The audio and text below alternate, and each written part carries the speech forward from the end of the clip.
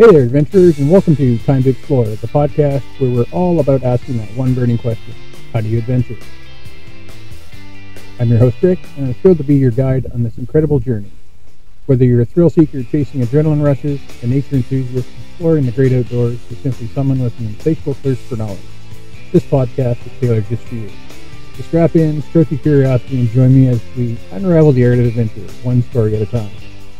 From epic tales to hidden gems, from survival wisdom to unforgettable encounters, Time to Xplore your passport to a world brimming with excitement and wonder. So, my fellow adventurers, how do you adventure? Let's embark on this journey together.